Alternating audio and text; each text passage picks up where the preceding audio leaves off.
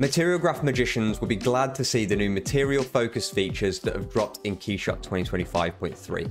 Let's take a look. First up, and let's not downplay the importance of this, the material graph is now dockable. No longer does she have to float around without a place to call home. You can dock her just like any other panel in the main Keyshot UI, or take a full screen on a second display. In addition to this, the material graph now comes with a grid option which you can snap nodes to to keep your charts a bit more organized. The new graph is also unlocked, meaning you can move around freely regardless of the nodes and layout, and the updated zoom function now focuses in on the cursor, making navigating the graph a lot more efficient. With the updated material graph, we also get a brand new material type. Keyshot now supports open PBR materials, which is an open source format widely used in other 3D software. This allows you to port compatible materials over from other tools, and in theory, they will function exactly the same. You can import these materials straight from Rhino, through the Blender plugin, or as GLB or GLTF files. The OpenPBR format offers very different parameters to the standard material types in Keyshot, with advanced options for diffuse, metallic,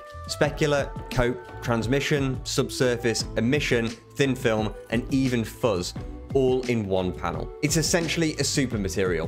Do whatever you like. So even if you're making materials natively for Keyshot, you may find it easier to achieve the effect you desire. These are massively welcome changes in my eyes, but what do you think about them? Let us know in the comments down below.